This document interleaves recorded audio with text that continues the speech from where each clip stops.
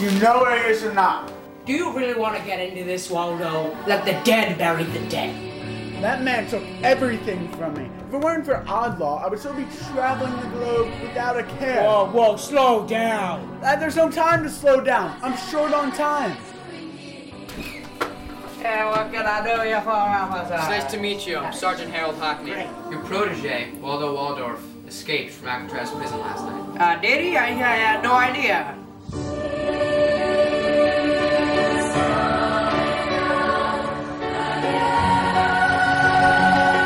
Listen, bud, we don't have time for fun and games. Now I'm gonna ask you once and once only. Cut the crap and let's get down What? to business.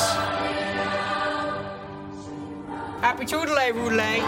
Listen, Whitebeard, I got a feeling you know where he is. I, I didn't know those inmates had escaped. Unfortunately, my close companion had gone out of town. We know this isn't just coincidence.